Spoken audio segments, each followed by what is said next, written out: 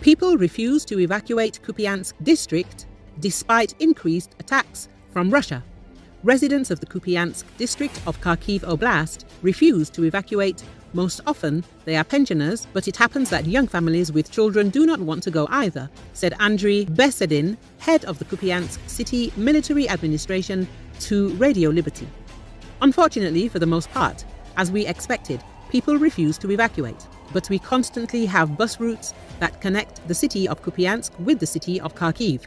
The trains run regularly. People contact us, there is a hotline. We respond immediately. Form lists and volunteers are taking residents to Kharkiv, Besedin said. Besedin added that older people most often refuse to evacuate. But there are also families with children among those who refuse. The head of the Kupiansk City Military Administration said there are currently more than 600 children in the Kupiansk Hromada. It should be noted a Hromada is an administrative unit designating a town, village, or several villages and their adjacent territories. It is very important for us that they are in safer places. Because of the escalation, the number of attacks that are now on the territory of the Hromada is increasing.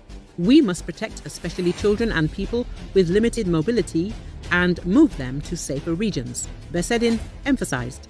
On the 10th of August, local authorities announced the beginning of the mandatory evacuation of residents of 37 settlements in the Kupiansk district of Kharkiv Oblast. Such a decision was taken in connection with increased attacks from Russia